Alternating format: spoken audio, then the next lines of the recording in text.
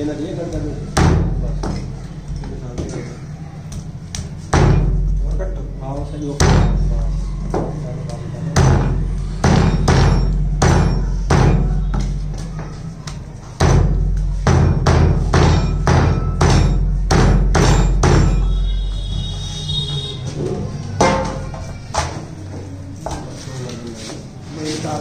Thank you.